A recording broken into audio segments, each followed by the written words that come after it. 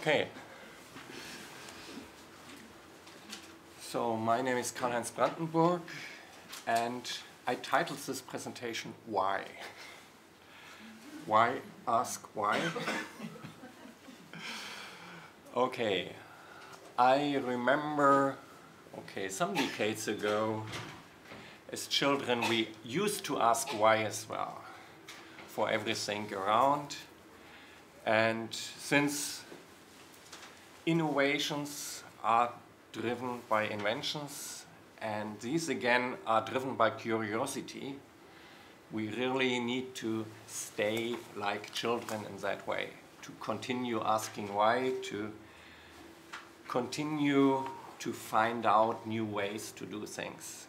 In fact, that's the normal work for engineers and I started out as an engineer.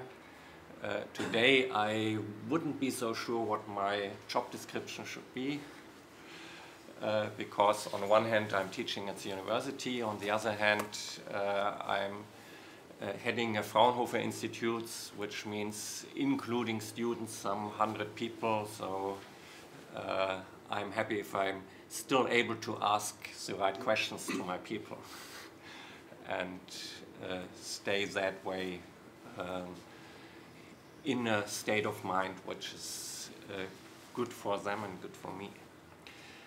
Anyway, if something doesn't work, find out why. Uh, that's what we have to do as engineers.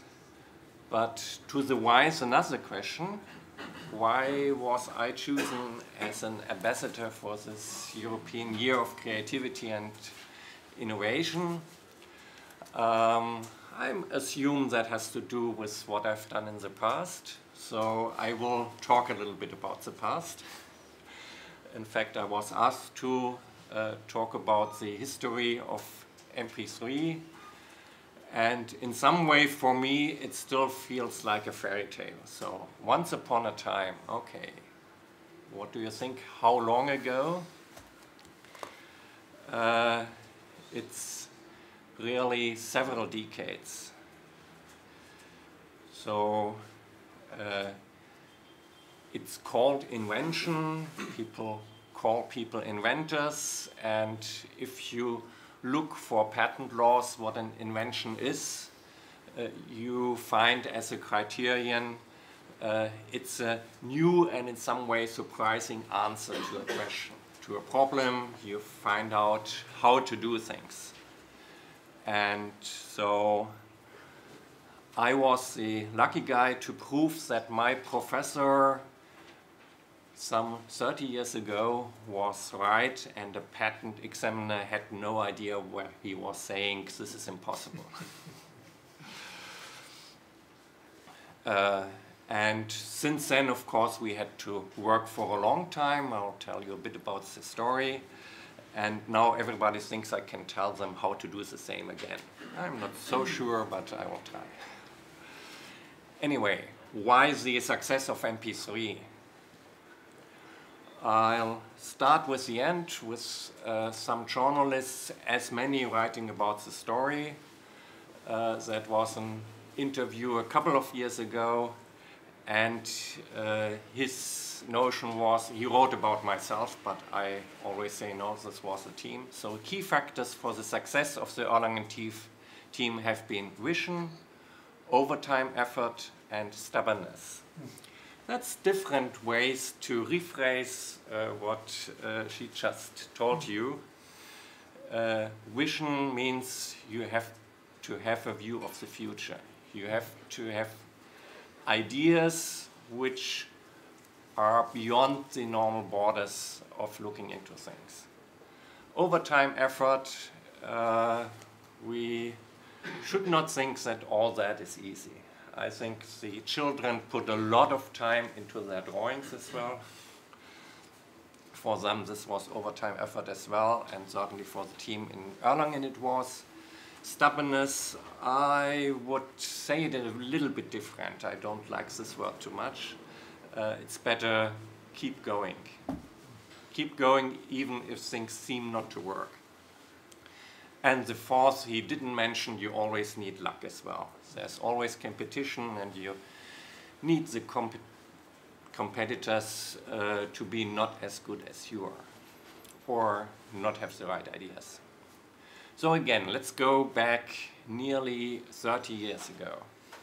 In fact, even a couple of years earlier, uh, Professor Seitzer, together with a colleague, did a patent application saying we should use this, at that time, new integrated services digital network system to transmit music over phone lines and have services to transmit music to customers over phone lines. Today we all do that. At that time the answer of the patent examiner was, it's very clear according to the state of the art, it's not possible to get anything like enough audio quality at the bit rates of ISDN. no high fidelity music at 128 kilobit per second.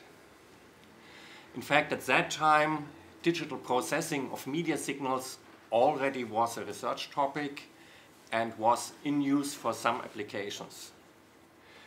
People were already using it uh, to get more phone calls over the lines and people were actively doing research on coding of pictures and video. High quality audio at that time, everybody agreed is not possible. On the other hand, people in the early to mid 80s thought of digital audio broadcast, for example, that we should go digital uh, with radio. Uh, that's still going on, much slower than people thought at the time. But again, that brought a lot of public research money to the people doing research on that. So that way we started to do research in Erlangen in the early 80s.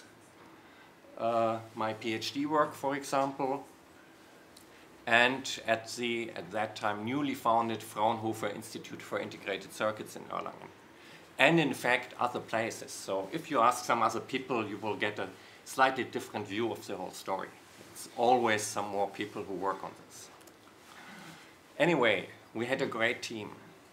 And this is a picture from 87 uh, commemorating this box uh, on the right. Uh, that was the first box ever who could take a signal directly from a CD, compress it to about the bit rates we nowadays use on our MP3 players, iPods and so on, and decode it again and listen to it.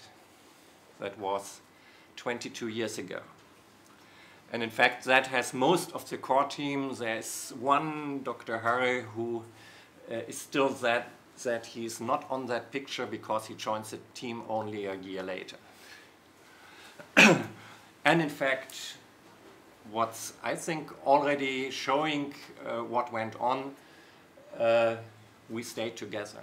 If you look at that picture, it has two heads of Fraunhofer Institutes, Professor Gerhäuser in the front and myself four department heads, so basically every, not only state, but had a career within Fraunhofer as well. Okay, so early work, but uh, that of course didn't solve anything, uh, and just uh, scientific curiosity. And a lot of people were doing similar work at that time, late 80s, and in fact, there was standardization. That's the Moving Pictures Experts Group, the standards we use for digital TV all the time nowadays. And they started in 88 soliciting proposals for video compression to fit on a compact disc. And I already do a joke on that. It took them only a couple of months to find out that on CD, normally all the data space is taken up by the music so if you want to put video on it, there's no space left for the music, but music, uh, movies without sound are really out of fashion. So they needed some audio compression as well.